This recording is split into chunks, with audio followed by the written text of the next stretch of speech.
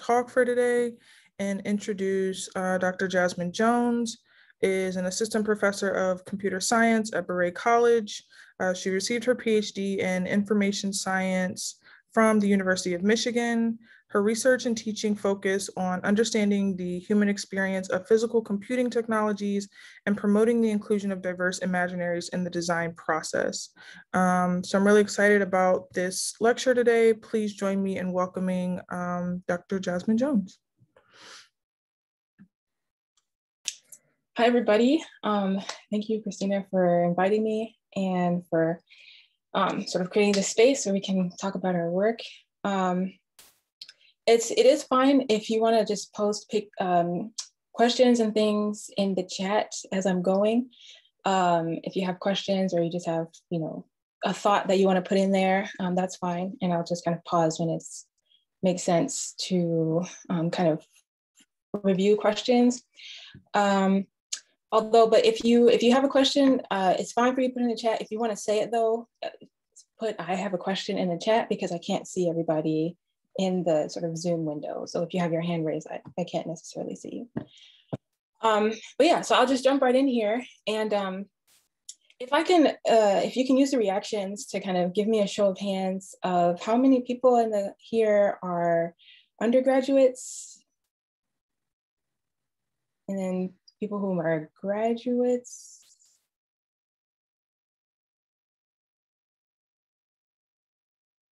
Okay, mostly grad students. Okay. And then folks who are mainly maybe computer science focused. Okay. And then people who are more digital media design focused.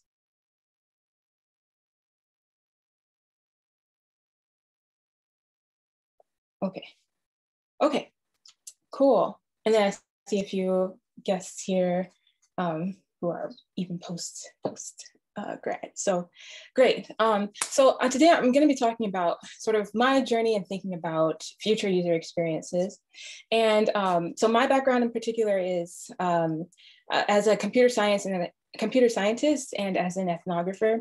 So um, my approach is going to be a little bit, maybe a little bit different than those of you who might have formally studied design um, and also maybe formally studied digital media and things. So um, just like to kind of say a little bit about myself um, in terms of my background, because I think it, it always shapes the way that we come through these different, um, these different research topics.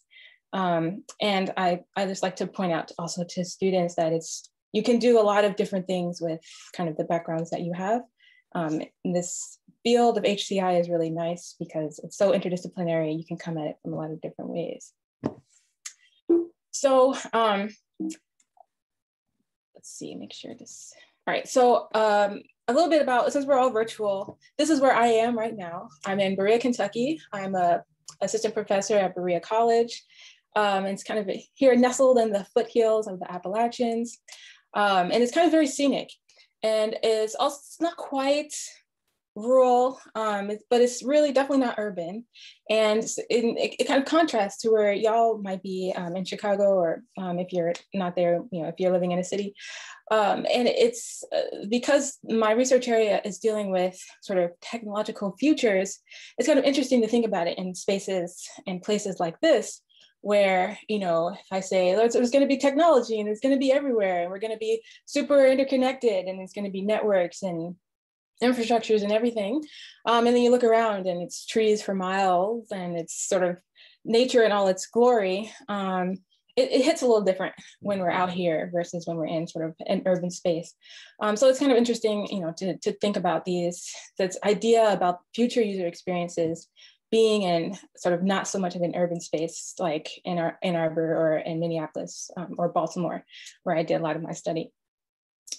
Um, so this, this talk is gonna be a lot more about kind of more storytelling form. Um, I'll go into a little bit of detail about some of my work, but I know some of you have kind of read some of the papers or reviewed some of the things on my admittedly not great website. Um, so if you have questions, uh, uh, more details or something, I'm happy to go into more detail or to kind of revisit things either as I'm going or at the end. So please just feel free to chime in.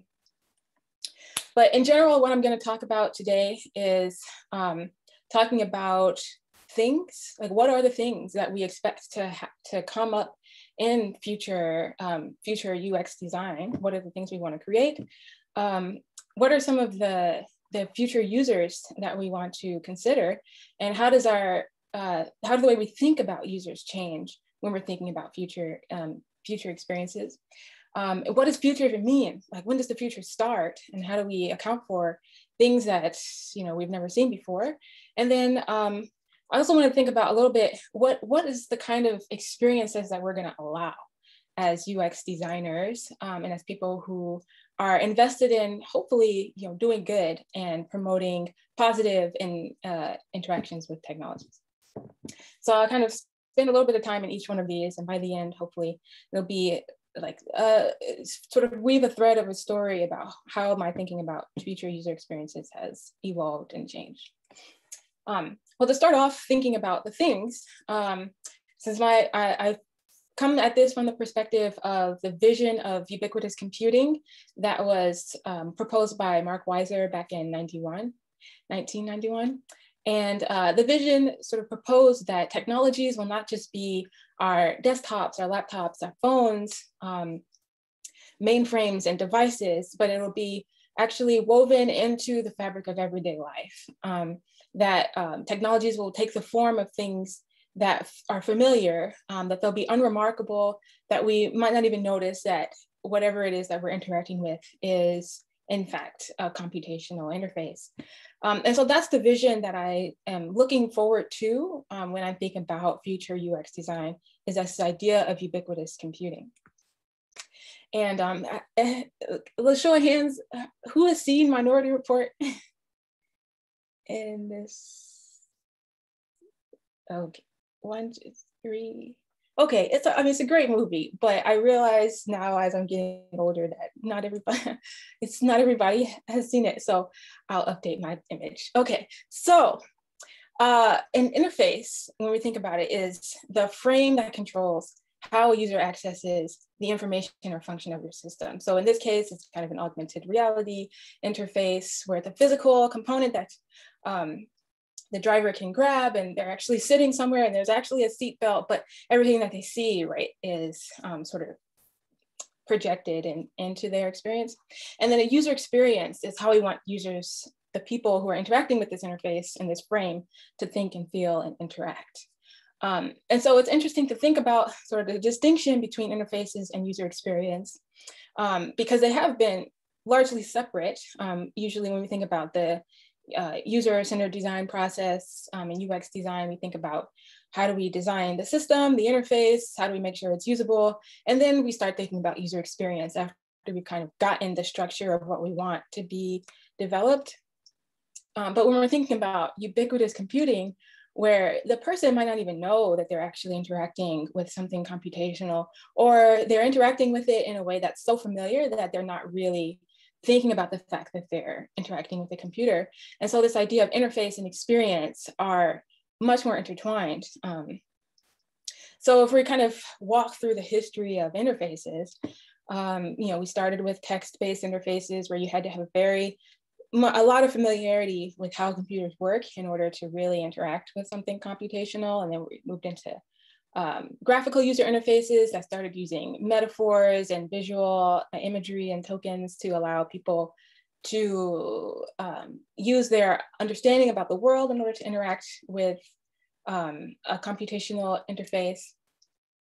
And we've moved on, we're starting now to see more tangible user interfaces, which is where I think you know stuff starts to get interesting, where we have more natural user interactions. People kind of just grab onto things and use the affordances of objects in order to figure out how this uh, technology is supposed to work. Um, and we see these kind of being used in a lot of different ways, from interior design to uh, musical interfaces, musical interactions. Um, and we're moving on to like wearable devices, um, where this like Mimo smart baby monitor to uh, is like a medical device for babies to monitor their uh, the blood oxygen level so that parents can kind of rest easy when their babies are sleeping in another room.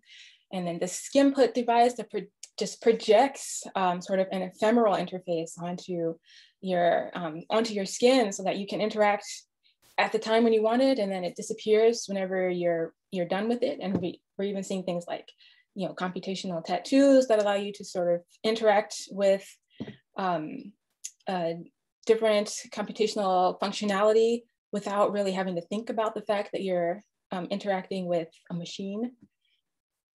And we're seeing um, embodied and voice activated assistants that are trying to, trying to move us more into thinking about how do we interact with the world rather than how do we interact with this machine. So Jibo uh, robot um, that was unfortunately discontinued was more of like a friendly you know, kitchen appliance uh, that kind of took pictures when you asked it to, or could give you information if you talked to it and just kind of told jokes or something. Um, and then Paro, the robotic seal, that's a substitute for therapeutic animals um, that was really popular in Japan and it's kind of also now made its way over into the US. Um, and the point of these kind of devices is that you're not interacting with a computer anymore, right? It's just the computer that help, makes it interactive, but really you're interacting with the thing. Um, and so now we started to think less about like, how do we design this interface and more about how do we create this experience with these, um, with these different objects. And then we've also got virtual reality. Um, and we've been thrown into virtual experiences, uh, unfortunately, quickly with this, the whole pandemic style. Um, but um, there's still a lot of enthusiasm for the future of what virtual reality could be an augmented and extended reality, um, where it's not necessarily the thing that you've built, you've actually just fabricated an environment for a person to act and interact in.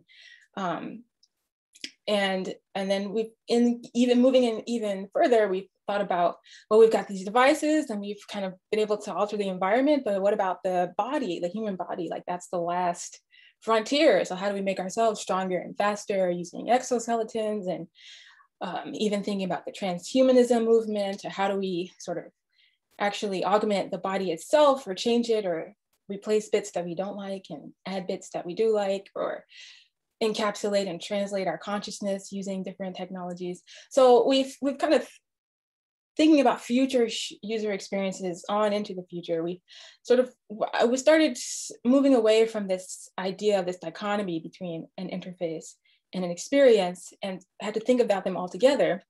Um, but this also poses some difficulty and challenge for us um, as UX designers because we have to think about what we even mean by user experience. Who's the user when you don't know you're interacting with something? Um, you know, with if everything is embedded and woven into everyday life, what does that mean for what we normally typically think about as um, the experience of the particular target person that we're designing for? So we've got cool stuff coming down the pipeline. I think a lot of these future devices and interfaces and things um, are really interesting, but they come with uh, caveats. They come with questions and they come with challenges that we need to address. So how do we know that it worked? You know, we're talking about not just building a new technology, but we're talking about building a new experience. How do we know this experience is working the way we intended? How do we know that it's actually good for us? Um, how do we, what do we do if people don't like it? Um, and what do we do if we've forgotten someone, if we've left something out? Um, and we've seen a lot of conversation um, and debate and um, a lot of hard turns and pivots happening now because we're living in a current reality where people have been systematically excluded from the visions of but what technology could be now and we've realized it you know we've realized things like algorithmic bias and having like pr- privacy protections, um, you know, that have been the current technological environments that we currently have are a vision that didn't include all of us. And so when we're thinking about moving forward into the future, how do we make sure that we make things that are inclusive of all the people who will be present in the future that we're imagining? So that's what I deal with. And so I'm going to maybe talk through a little, a few of my projects about how I've tried to um, sort of think about these different issues about um, not only understanding in the evaluation of the interface, but also like how do we consider the people who are involved and being affected and impacted through this. So I'll start with the question, what happens when we forget somebody? Um, because this is one of um, the experiences that sort of shaped the way that I think about user experience design and um, design of computational devices. Uh, and this uh, story comes from the setting when I was doing a research project back in 2013 um, as a graduate student um, in Sierra Leone, working with a school for the blind. And I was there to look at what kind of technologies could enhance and promote the existing sort of educational uh, efforts that were happening there to um, get people, young people who were blind, um, into and through school and into the workforce. Um, so that was what I was there to kind of study and look at. Um, and the setting, like this picture uh, that I'm showing is kind of from uh, an elementary school. So they had, you know, typewriters and, and, and computers and the students would learn Braille um, and other different study skills from about first grade to sixth grade. So their elementary schools were schools for the blind. They were sort of targeted and directed for them. Um, and they had a lot of like really great equipment. Um, but at the time, um, Sierra Leone as a country was just emerging from a really awful civil war. And so the infrastructure and, and um, the access to resources was really bad. Uh, it was in terms of like um, levels of countries and in the poverty index that was maintained by the UN, uh, Sierra Leone was pretty close to the bottom. Um, and so like, even though in this picture you're seeing like these pristine Dell computers in this school for the blind, that was not the reality for most people in other countries. Most people had never even used a computer. Um, students and who didn't have the chance to go to um, schools that were well resourced like this um, were mostly, you know, still taking notes by hand. And so when these um, students who were at these schools for the blind that were rather well resourced because of the accessibility needs of the students, they would go to high school and these high schools were integrated. And so when they would get to um, an integrated high school, they, um, they would bring their typewriters or their computers with them and copy notes. And so this what this kind of what this quote was saying, like they they actually did a lot better than other students, even though they had uh, this disability that they were trying to overcome they also had all these other resources with the technology that they were able to use and leverage to outperform a lot of the other students who didn't have the same um, accessibility barriers. Um, so this seems at, on its uh, surface like a technology success.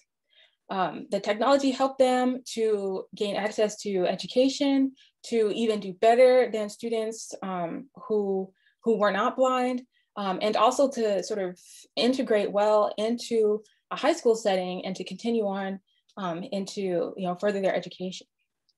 However, everything outside of just that classroom was incredibly inaccessible. So although they could use their computers to take notes and get, get the information from the teacher and to take and to like do their exams, once they stepped out of the classroom, you know, getting to and from the school, you know, they had a staircase that they had to go up and the stairs were sometimes broken. And so if you stepped the wrong way, you could really fall and hurt yourself. So they had to always ask other seeing students, you know, can you help me navigate these stairs to get into the school building? And then the road that was leading from their homes into the school was very dangerous. There were no sidewalks and the cars would drive really fast and you had to kind of avoid the gutter on one end and the car fast driving cars on the other side. So they would have to ask other seeing students, like, can you help me get from my home, you know, to the school? Um, and then, you know, during school, you know, you have lunch and you want to, you know, you go to town to get food or to get your supplies. So they needed help to do that too. Um, and so they relied a lot on the on um, seeing students to um, just actually just participate in the school environment to get to the classroom where they could um, and have this educational experience. But the school, um, like many sort of European system schools, rank students from based on their performance, and that ranking determined what you could do, like whether you could um, go to certain colleges or what kind of jobs you could be eligible to apply for. And so since these blind students were outperforming all the other seeing students, the seeing students would stop helping them. right? Like they were seen as having an unfair advantage because they had these technologies. Um, and so the seeing students were like, well, we're not going to help you do anything else because it's not beneficial for us, for you to just come in here and um, outperform us. And that's uh, that's very sad. And but it's understandable if you think about it. You know, it's uh, the country didn't have a lot of opportunities, and everything was a competition. Um, and then these these kids had had an unfair advantage. Like that's that's the way that it was seen. Um, and so, if, in this case, if we we hadn't thought about the fact that they're living in a social environment um, that it's not just about their classroom experience, not just about getting the information from the teacher and remembering it and putting it back down on the test. It's also about getting to and from the place where they can get an education and creating connections and building social capital to allow them to be successful in all the areas of their life. Um, if we don't think about that, then we'll call the technology success. But if we do think about that, if we think about the fact that these technologies, when they were introduced into this new setting, totally disrupted the social fabric of this school environment for these students, for these blind students, um, then maybe the technology is not so successful. So this experience is, uh, and seeing this and talking to the students about both the seeing students and the blind students about why this was happening and what was happening, it really helped me to see that when we're thinking about introducing new technologies into a particular situation, not only just the technology, but we want to change the situation itself, we really need to think about more than just our users. We need to think broader than um, broader than directly the people that we want to design for. So this leads to, um, I guess, my key point uh, for the, the presentation, but then also just my research agenda is this idea that interactive technologies that are physically embedded, so this like vision of ubiquitous computing where technologies are all around us and in every aspect of our life, um, they're also socially entangled. Um, when we think about our user, we have to also think about all the other people that are interacting and influencing and being influenced by the person that has this device or that is interacting with this system. Um, and there's, we can also think even further about people who are not necessarily directly connected to this person, but are somehow engaged in the functionality and working of the system.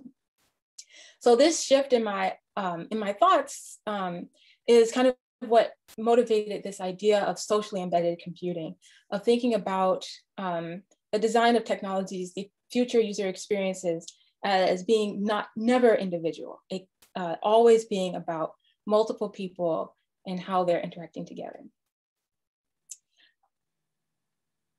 Um, so I will um, kind of move on. To, if there's no questions about this part, I'll kind of keep keep going.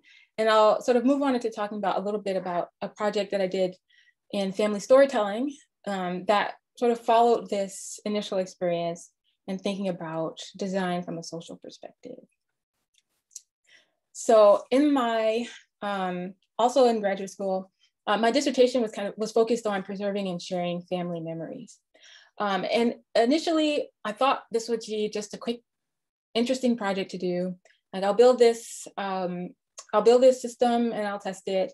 And then I'll use that to sort of just gain a few new skills. But as an ethnographer, I always have to start with asking people what it is that they do, what it is that they think, understanding their practices. Um, so I started by looking at what all the different current memory technologies are out there. And there was just, there's, there's almost hundreds of papers about technologies for memory, for reminiscing, for reflection, for retrospection, for uh, futurespection. Um, and so, you know, these these technologies range from the photo box, which took um, pictures from your past and printed them out randomly, um, to the FM radio, which recorded um, uh, audio recordings from family trips, to the lover's box, which had different little artifacts that could be shared uh, between couples. Um, but all of these devices I noticed focus on the person doing the remembering. And the work that I wanted to do was on families who wanted to remember together. So I started to think about how am I going to approach this idea of design for memory as a social process, not just as an individual um, or even just a shared process. So in order to do this, um, I conducted a story tour.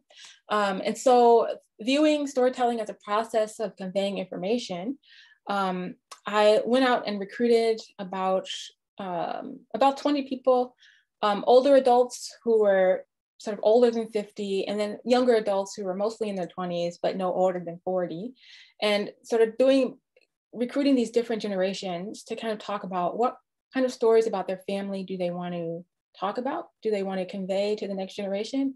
And then to the younger people, what kind of stories do they want to know about their family? Um, and these story tours viewed the stories that they were telling as the artifact that they were trying to pass back and forth. Um, so trying to think about this as kind of like heirlooms and mementos, thinking about the stories as those things. And then I wanted to focus on what people's practices were around sharing those things. Um, so I asked them about what their challenges were, as well as what their hopes and what their practices were.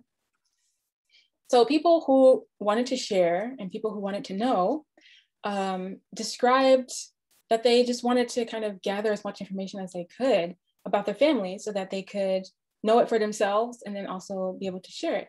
But one of the challenges um, that came up was that um, for people who were storytellers, people who were older, um, older adults, but who wanted to share with future generations, they often couldn't just make the decision to, to tell a story. Um, they sometimes they had siblings or cousins who would say, "No, we don't. We don't talk about that. We can't share that story." Um, and the same thing for younger generations. Um, sometimes they have you know some information some story that they want to hear about and um, so they go and they ask someone like oh can you tell me a story about this? What was it like for you growing up here? What was this person like when they were younger? And they get sort of silence or they get people kind of dodging the question.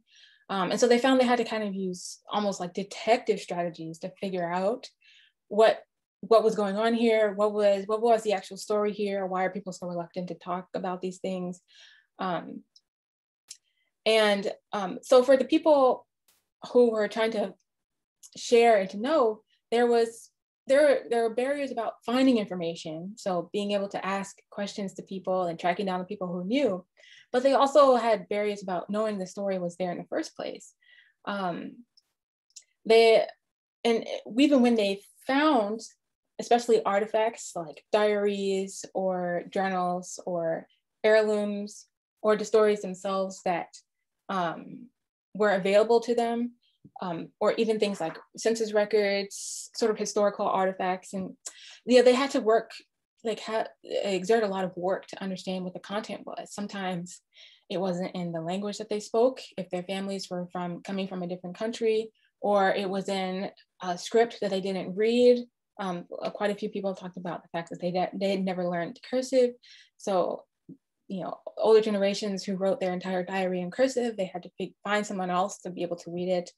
Um, and then just kind of understanding what it is that people are talking about. You know, someone's talking about something that happened in the 1920s over in rural Kansas, you know, and you live in New York, you know, there's all kinds of terms and terminologies and just things that you just have no context to understand. Um, and then the other thing that um, we kind of realized is that a lot of stories change over time. Um, and sometimes intentionally, sometimes unintentionally, right? Everybody tells a story their own way.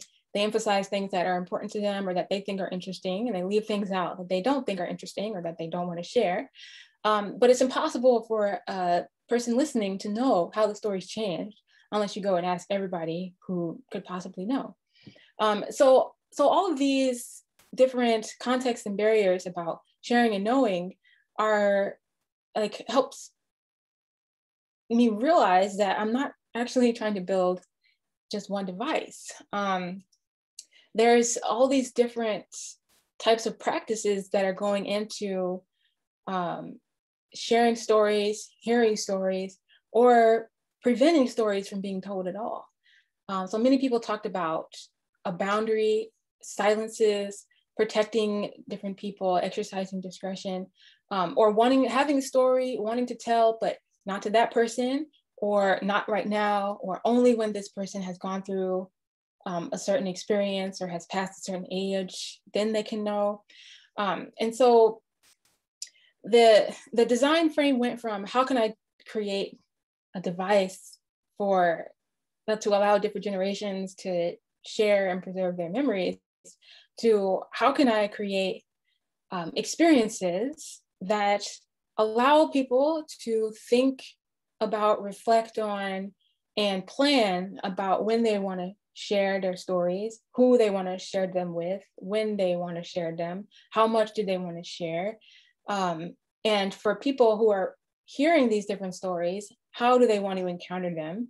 What do they want to know? Who do they want to learn from? And so that's kind of something that I'm working on now is like, how do I think about all these different types of media, but also all these different types of stories and all these different types of practices around these stories that create this sort of storytelling experience that is familiar to families um, in a more technological scenario. Um, and the, the challenge, the challenge in all of this is the, the main reason why people would want to share stories or hear about stories is because once the person has passed away or once they've moved away, the story itself is lost if it hasn't been told. And so trying to basically beat time in order to um, sort of gather up as much information in someone's own words and from someone's own perspective is one of the main motivators for people who are kind of going out and doing a lot of this um, storytelling and historical research work. Um, so, so that's kind of an interesting um, case of how thinking, moving away from just studying people individually about their own memories, but thinking about everyone who's involved, not just the storyteller and the person telling the story, but also all the other people in the family who have some sort of stake in what story gets told and who it gets told to, um, is can sort of really complicate the, the user experience design process um, and in good ways, in good ways, um, so that you can sort of think more creatively and broadly about what it is the scenarios that we're intending for. So um, moving on from just um, memory boxes, basically, to thinking more about different devices that take into account all the social aspects and um, all the, the different relationships that are actually at play in the, the story, family storytelling process. Is future work coming soon, maybe next year, Kai. So the next question um, that comes up, along with like, how do you consider multiple users um, and sort of multiplicity of people that are in, engaged in sort of ubiquitous computing design process, is how do we know that it works the way that we intended? Um, and for a typical sort of CS, um, HCI technical um, development, the way that you can really test it beyond just the system is through deployment studies.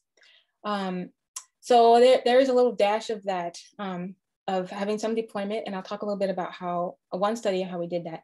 But sometimes it's just serendipity. Sometimes just a situation arises that you have uh, a prototype for, um, and you get a chance to try it out. So, um, so I'm gonna play a video from a study that I did for looking at memory sharing with between parents and young children. And this is an example of how we um, did a sort of deployment study to understand a future user experience. Let me set up the study for you and then I'll play the, this short video. So the question that we started with was, how do we help parents capture memories of their young children without ruining the moment? Um, and the key challenge was that even parents couldn't tell us what they wanted to capture about children. Otherwise, we could have just built an AI or something to do it.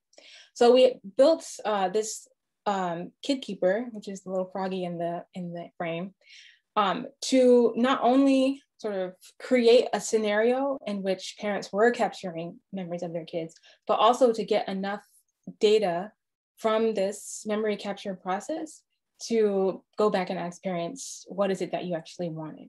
So we were, so we built this, uh, what's known as a technical probe, technology probe, um, to, to create a scenario, a future scenario that would allow us to kind of anticipate and see what people's experiences were um, through like just some more natural interaction. Uh, so I'll play the video and please let me know if you can't hear it.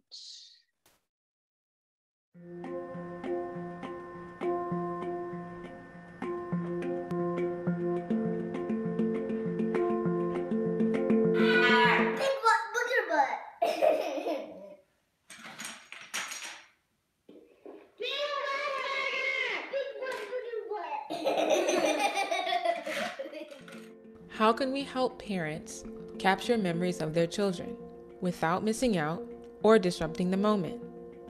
We were inspired in our design process by parents who wanted to capture the voices of their children when they were young and rapidly changing. In interviews, parents said, The way they said certain words when they were two, you can't get that back. And those are little things that you see every day, but you don't have them captured. These audio memories of their children were more precious than they realized at the time. So we thought about how to enable parents to capture mementos of their children's voices. And then we thought, what if their children could capture these mementos themselves? We designed KidKeeper as a recording system for audio mementos of young children. It contains a microphone for recording and a speaker for playing back the recordings. Recording and playback is activated by a touch sensor. We used a Raspberry Pi to control the system and connect to the web. KidKeeper takes a toy-like form so kids can capture the mementos themselves. The system is embedded in a plush toy, so it is engaging and approachable for young children. All recorded content is stored locally on the toy, and it is also backed up in a private web database where we have simple quality filters. There is also an email server that can occasionally send recordings to parents so they can receive little audio mementos of their children wherever they are. I love you, Mommy and Daddy.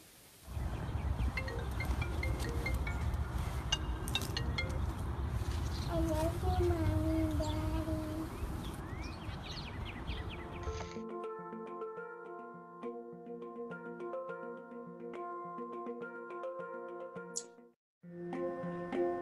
Yeah, so um, so we built this technology probe and we gave it to parents and um, and their kids who are mainly about three or four years old, two to three, two to four years old, um, and as a way to sort of help them put them in a scenario and envision how this this entire memory capture could work. Um, and they had these for about a week, which we figured is about the amount of time it takes for kids to get tired of a toy. Um, and then um, we decided to, uh, yeah, so that they just used it regularly. We didn't monitor them. Um, we didn't um, sort of make them use it a certain amount of time. So this wasn't a, a, sort of typical deployment study where you sort of require the people to use the technology in a particular way. We just wanted, we just gave it to them and said, use it whatever, however you want to. Um, so it's more of an exploratory, um, exploratory prototype um, as, as a type of probe. And this allowed um, us to kind of get um, an understanding about how this would be perceived and how it would be um, received, perceived and received by both parents and children, as well as giving us a lot of data to do a future study um, that we conducted with the parents to understand. So now that we can do this, what is it that you want to record? Like what kind of memories about your kids is important to you? Um, and then we could, you know, do future, we could sort of build a classifier for that and things. But we had to start here with sort of creating the scenario that people could envision, envision the interaction with. So that was a planned deployment. Like we knew we needed to create sort of, we needed to create a future scenario in order to get any sort of interesting information about this. Um, but we also, I've also had sort of unplanned experiences. so um, this picture is also in, within the realm of family memory. Um, and this picture is from uh, Dhaka in Bangladesh. So in 2018, in July 29th, um, there were these huge citywide protests uh, that made, made national news. They shut the whole city down. And basically students, high school students and college students were protesting for better traffic safety. Um, because um, I don't know if y'all remember some of the details about this, but a young student um, was kind of running for the bus and had gotten run over by the bus that he was trying to catch. And um, nothing happened. There was no, um, no consequence. And even the prime minister of the country sort of went on national television and was like, stop talking about this, it doesn't matter. Um, and so students were quite upset about the fact that so many people die in traffic accidents, even though there's laws about traffic safety, but none of them ever get enforced. And so they were protesting to for the enforcement of traffic laws. Um, but even though we saw in outside of Bangladesh, we saw a lot of news about this. Um, these sort of articles from Time Magazine, it was kind of you were listening, like watching the TV, because these were really big protests. They shut down the entire city for days and days and days. But inside of Bangladesh, there was nothing. There was no news whatsoever. And um, actually, one of the students who have been working with me um, realized that the understanding that she had in Dhaka about what was happening um, with all these protests was completely different than what her parents were um, seeing out um, outside of the city, um, even to the point where their like Facebook profiles and um, all the different like social media channels had been shut down and actively censored so that nothing about the protests could get outside of Dhaka within Bangladesh. Um, and so there was this sort of dichotomy between what people knew to be happening versus what the government was saying, sort of in the, the news media about what was happening in Dhaka with these protests. And so this phenomena of digital silencing gave a platform for something the student had built um, called the uh, app. And this was a, a storytelling app for families. Um, she was inspired by um, some of the work that had been done for family memory. And so she built this app for families in Bangladesh to go you know, as they go visit their family members in different parts of the country, they can record their stories and then um, build a family tree out of them and have a gallery of images to sort of sort of facilitate this um, sort of digital storytelling process. Um, and they had this app. So it was students, it was a group team of undergraduate students who built this as part of a class, but they had this app during the protests. And so they used the app to record all the stories from people during the protests who were in Dhaka but couldn't communicate out. And then they also recorded um, stories outside of the um, outside of the city to see what people were seeing, and then were able to sort of keep them um, in this sort of memory box, basically, so that once everything died down, they could share these sort of in the moment reflections and thoughts and and feelings with people who had been sort of on the outside of the digital fence. Um, so that was an interesting way to kind of see like how could these kind of technologies be used and appropriated in the future, even in ways that we didn't expect. Um, but it kind of just came up. It wasn't planned. We didn't build the app for this. Um, and so sometimes like being able to evaluate a future user experience just is comes from having some a working prototype. Um, and then a situation comes that you're able to, to use it in. Um, so I'll kind of end uh, on this point. what do you do if you know what you design actually isn't very good? It isn't, and not necessarily that it doesn't work, right? But that people just don't want to use it, or they don't want to use it the way that you've envisioned. Um, and especially in uh, ubiquitous computing environment, right? Like it's something that's maybe they don't even have a choice about using. It's somebody over there who's using it, but it's affecting my life. How do we account for that. Um, and we haven't really thought much about it um, as designers, but um, we're starting to. So there's these kind of buzzwords getting tossed around, disuse, non-use, contestation, refusal, removal. Um, and so that's, we're starting to think about how do we uh, support people who want to unplug, who don't want to use a particular platform or system, who want to refuse a particular set of data collection, um, who want to not be involved in any sort of process. But have we thought about this in terms of user experience design? Like, have we thought about how we can intentionally design for these sort of things? Um, because right now, a lot of this sort of refusal and non-use uh, is through regulation, right? People fleeing the technology and going to the regulators, to the to the politicians or the law writers to say, please help us. This technology is ruining my life. But that means we as UX designers have failed. So I want to leave with kind of that thought of like when we're thinking about ubiquitous computing and we're thinking about futures that um, where technology is everywhere, it's all around us, it's woven into the fabric of everyday life, it's affecting not only our physical environment, but also our social relationships. How can we let people not engage? That's also a part of user experience design, especially when we're thinking about future experiences. So to all of you kind of future designers, the ubiquitous computing future technologies that come, will they come by invitation because we've designed them well, we've thought about all the people that they are um, engaging with, we've thought about how whether they work or not, and we've also thought about ways that people can step back or disengage by choice? Or will it be by invasion? Will it just be us making things and forcing people to use them either indirectly or, or directly? And how do we make sure that that is a positive future for everyone? So I'll close there um, with a question for you all. Um, and I'll also take questions about sort of the content of the talk and everything that you've read. Thank you so much, Jasmine. this has been a really cool presentation.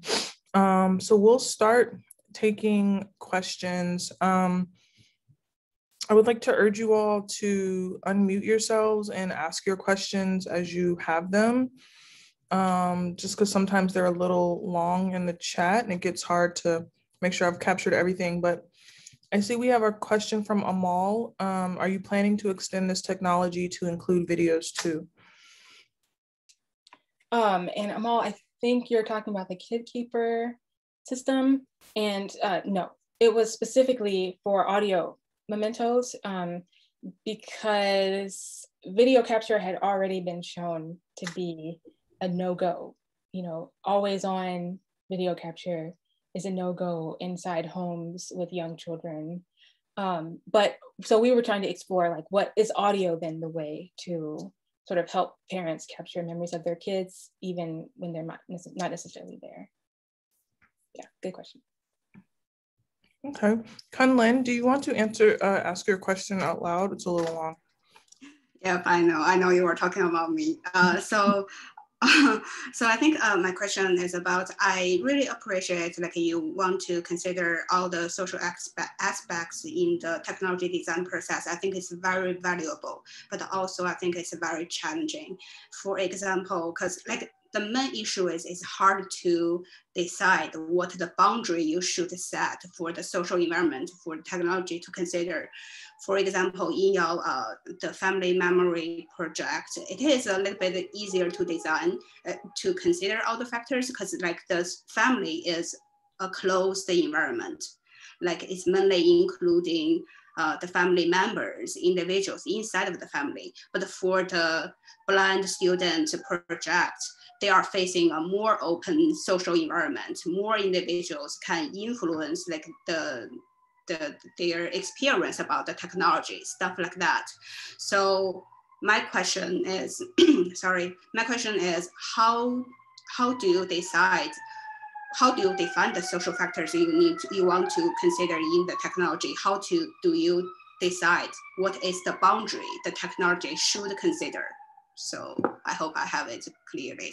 Yeah, um, yeah, thank you for that question. And I, um, deciding the boundary of like who should you consider and who you should just kind of hope works um, is that's a that's a I mean it's a tough one because on the one hand you could try to keep all the power as the designer and say like i'm going to make the choice based on what i know and i'm the expert in this situation. Or you could ask your potential sort of your target group. I think all of these sort of settings still do have a potential like, target user group right so you could ask them about you know who do you really who do you interact with and um, and you know who is going to be involved and engaged in this you could spend, do some ethnography and go sit there and watch, right? Because everybody's, I think, uh, you know, people can tell you who's in their family, for example.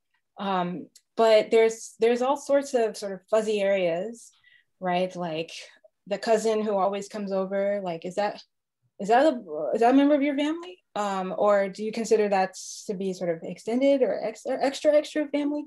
Um, so kind of doing the sit and see um, method um, and so I think that's where I think the power of participatory design really comes in. That's also where the power of doing a probe, a technology probe, um, is really nice because um, you don't have to make that decision in advance of your design process, right? Like you can you can create something solely for the purpose of eliciting sort of more of these social um, social actions and interactions, and then see what see what comes up, see what happens.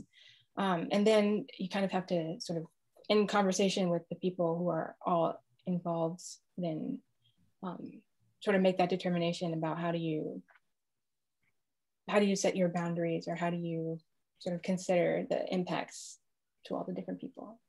I see. Thank you so much. Just one like, very tiny uh, comment. I think you are so right. Like, but on the other side, I also think it's it's not only technology's uh, issue or responsibility the social culture, like there are some other factors in this in, around the technology is also important to set up. Yeah. Thank you. Yeah, for sure. Yeah, definitely technology can only solve technology problems. Um, so definitely if if you have like a um, sort of um, an environment that's negative and you're trying to introduce some sort of positive intervention, the technology is not going to change the negative social aspect either. Yeah, definitely definitely, it definitely has to be a conversation and sort of um, effort by all involved. Yeah. Thank you so much. Okay, we have time for one more question. Um, I'll let it be presenter's choice. Jasmine, do you want to see yeah, a number of them in the chat?